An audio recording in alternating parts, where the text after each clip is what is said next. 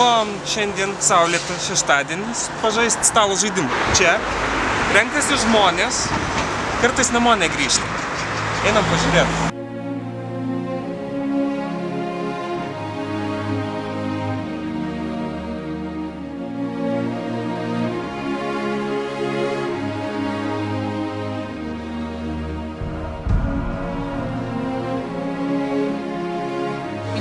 Žaidimai tai būtų grinai tas vat, e, gyvas momentas gyvai žaisti kompiuterinį žaidimą. Čia yra įvairių žanrų ir tipo, pavyzdžiui, čia yra antro pasaulinio karo imitacijos, uh, Flames of War vadinamas. Na, grinai, tai susirenka suaugę vyrai, vyrai rimtai, ir, žaidžia su kareivėliais. Nekinga, aišku, šitie. E, ten matom šiek tiek nudažytas ten Napoleono karų imitacijos irgi miniatūros fainos. O čia toliau yra visokios fantastikos. Fantasy stilius yra įvairūs, e, šitie plasmasiniai būtų cyberpunko tokie šaudyklės, čia būtų hororo steampunko stiliaus Viktorijos laikų. Tai galima rinktis iš tokių, žiūrint, koks jūsų biudžetas ir, ir, ir kiek jūs norit laiko su to praleisti. Jas reikia susirinkti, jas reikia nusidažyti, jeigu labai norit, nu, galima nedažytam žaisti. Ir, ir reikia rasti laiko ateiti ir žaisti.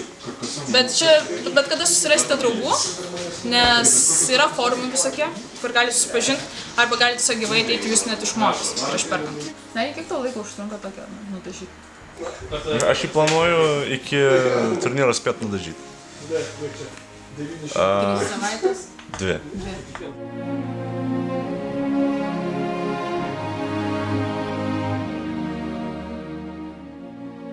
Europoje ir Amerikoje, aišku, tai yra beproto populiaru ir tai yra jau senai, bet e, visi miniatiūrų žaidimai prasidėjo, aišku, nuo kareivų.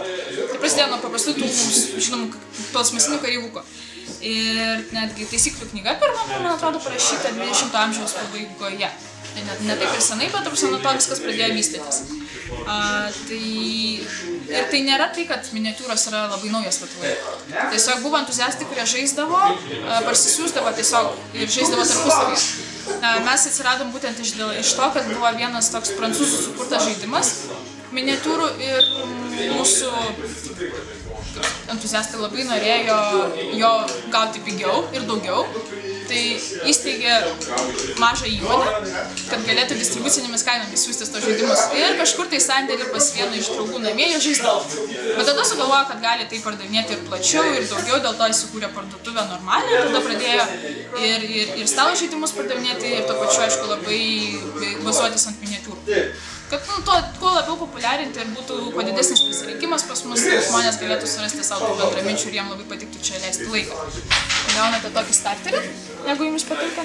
Ir iš karto gaunat, nuo keturių būna iki šešių, septynių figūrėlių. Ta pirma komanda, su kuria gali čia. Tai paskui, na, toliau gilindamės į žaidimą, tai surasti įvairių herojų, įvairių minionų, tai vadinamų, kurie jums komandai labai tiks. Pagal savybės, žiūrint, ko jums patiems trūksta. Tai čia yra starteriai, grinai, o čia jau yra papildymai įvairūs. Yra jau tada po vieną galima rinktis. Išsirinkus jau tada jūs esate neišvengiamai įtraukiami. Jums viskas. Jūs neturite gyvenimo asmeninio, jūs turite miniatūras. Jūs ateinate pas mus, mes turim specialius stalus, įrangą viską. Kada tik norit. Turėt laisvą laiką mūsų darbo metu, aišku, iki kokių 9 vakaro kiekvieną dieną. Žinoma, ten yra tokia įranga, kaip reikia turėti liniuotę, nes, nes kiekviena figūrėlė turi savo statistikas, turi savo ėjimą ir panašiai, tai reikia pasimatuoti, reikia pasižiūrėti. Bet iš esmės tai taip, susidedat ir žaidžiate.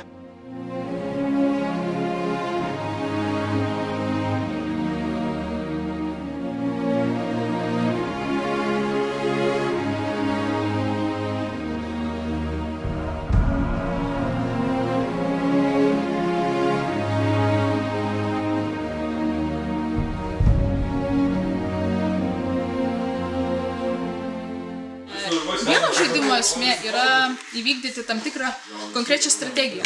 Savo misiją, questą, kaip norite vadinti, bet tai kartais būna padėti bombas, tai kartais būna surasti lobį, tai kartais būna kaž, ka- kažkas, kaip tik nori, sunaikinti įkalčius ir panašiai.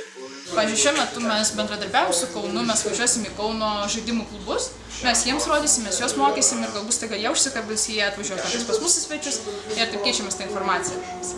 Jaunų žmonių apskritai yra mažai, kurie to užsima, dažniausiai vyrai, suaugę, rimti, su normaliais darbais šeimom, taip, ai, aš aišku, turim tokį neblogą dalyką kaip stalo žaidimų turgelį. Čia kita tema iš esmės, bet žmonėms nusibosta turimi žaidimai. Galų galę neišmesti jų. Tai ateina pas mus, nusistato kainą ir gali tarpusavį kažkuria tai konkrečiai dieną pusė suprekiauti. Tiesiog. Mes jiems duodam vietą, jie ateina, jie susiprekiauja, pasikeičia kartais, arba tiesiog parduoda. Vieno orderio eina jis dekoruoja. Tai kaip paliekam, nes aišku, čia skiriasi. Tiesiog susideda stalą vietą.